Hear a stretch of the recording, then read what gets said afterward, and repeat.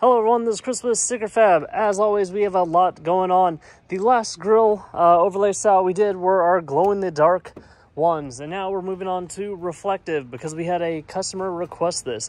And because you guys like so many different things, such a wide variety of things, we decided to go with a printable media. So I don't know if you can see it in the sun right now, but they are printed on reflective material. All these will be printed in a high speed mode, so the tones might be a little bit lighter at times than the actual vehicle color uh, if you're doing the paint or close to paint matched options um, just because we want to put a thin layer of color over that reflective material so that we still get that nice glow now, we tried some things out. Someone wanted all black. That's going to be the least reflective naturally.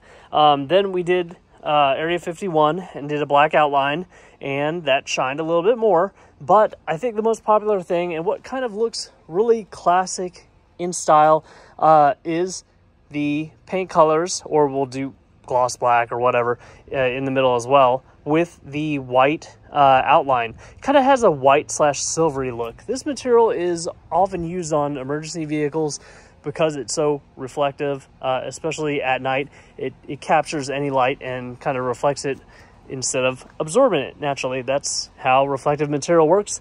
Now, we are doing another installation video for this material because they suggest that we use a dry install and because we don't want you to have a bad experience, I'm going to go ahead and show you how to do a dry install. Let me get my stuff and I'll be right back. All right, so since we're doing a dry install, we don't have too many things. I have my speed wipe here. Uh, no wax on this. Just gonna clean this area up.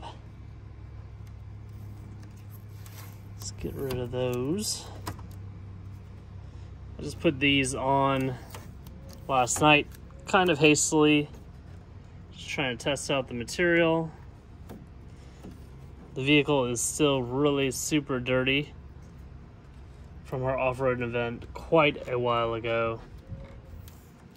That's when the alternator died, but Ford repaired it under warranty. It just took a little while to get that done. Um, kind of busy at our local dealership, but they did a great job. And ultimately, I got what I wanted. A vehicle that is able to be driven again. So let's try to clean as much of that adhesive off as possible. Should come off fairly easily with this chemical guys stuff. You kind of want to get in and around the logo. It will touch the edges in certain places, so make sure you clean a little bit wider than the application area It is 77 degrees right now. I like installing vinyl between 70 and 80 degrees. We are in the shade, which is great for when it's warm. If you do this um, in the sun, it will change the way the vinyl reacts to pressure. It can make it stretch a lot. And we're not really full-fledged vinyl installers here, so we're not wrapping the car. We're just doing a nice little do-it-yourself overlay. So a lot of the issues we get are with customers that do vinyl installs when it's really cold. You guys might want to apply a little heat or just do this in the garage or wait for a warmer day. Like I said, adhesive acts the best between 70 to 80 in my experience. So because we're doing a dry install, and because this material is so expensive, we're going to butt all these up against each other like usual. Uh, we'll probably give you two sets because it's not as expensive as the Glow, which you only get one on those. I just ask you to be really careful on those. You're also using a wet install. Um, this, you're going dry. So we will include some grid paper. Uh, we'll probably put it over one of the letters. Um, and basically, you will use that grid paper, push down firmly, Obviously doing this against the grill of the vehicle is not the most ideal thing to do. And make sure that it comes off with the grid paper. Hopefully this doesn't blow away, a little breezy. And then you just line it up. You look through that grid paper, Try to make sure you're on target, even all around. I look at the center of the O for this letter. I'll push down the center and then we're gonna kind of just push outwards. Because since we're doing a dry install, we have to try and get much as much of that air out as possible and we don't have the help of soapy water.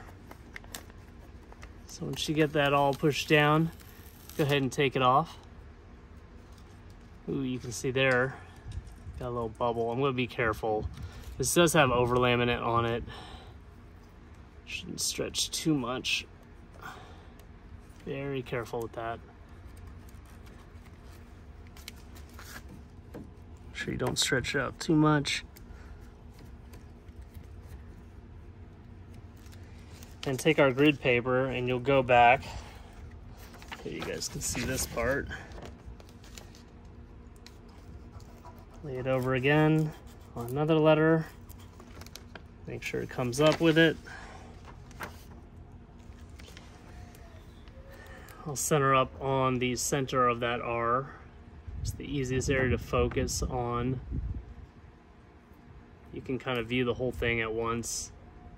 Your eyes won't shift from side to side.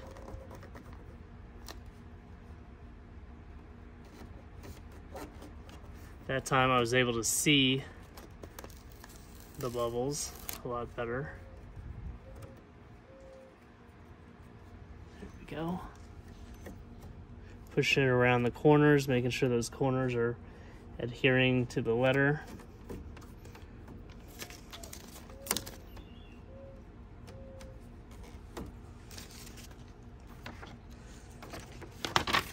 Now I'll grab my B, press down firmly, make sure it comes up. Now I can get rid of that paper. And then you're gonna focus on this inner part as well.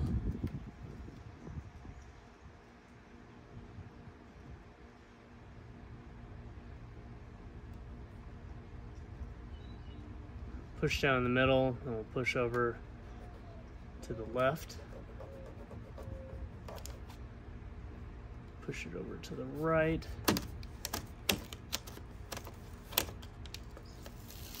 Pull it off. And there you have it. All Area 51 in the center with white on the outside. Move all this stuff and then I'll give you a quick view of it. And I will not publish this video without the night shots. So we'll get those tonight and then I will publish this entire video. Very reflective, very cool should look good at night when you're out about, either at a, a car meet, uh, parking in downtown, enjoying a nice night at a restaurant or something. Anytime at night when you come back and look at your car and there's a little light on it, it's gonna be really cool. Um, other things we're doing right now, trying to test out our aux beam setup. We are going to distribute these, but we're also going to uh, offer some labels if these work out. So that's another thing I got to test out at night. So let's flash forward to nighttime and see how this looks. There we have it, bam, fast forward, it is nighttime. You can see the glow in the dark because it has not been charged in a while. It's kind of the, the same uh, white color as we get in the normal uh, daylight. If we hit that with light for a little bit, it would uh, glow, of course, just like all the other pictures you might have seen on our website. But if the light source is directly behind you or directly in front of you and viewing and going out at the same angle, that's when the intensity is the highest on these. We shift to the side a little, you'll, you'll see it catch the light, but certain angles, it actually becomes pretty darn intense. So pretty cool. That's exactly what I believe our customer wanted out of the reflective uh, vinyl here. So if that's something you're interested in, just look on our website. We'll have it there. Please like this video. Subscribe to my YouTube channel if you have not already. And hit that bell notification icon for the latest and greatest things we are coming out with for all of these vehicles.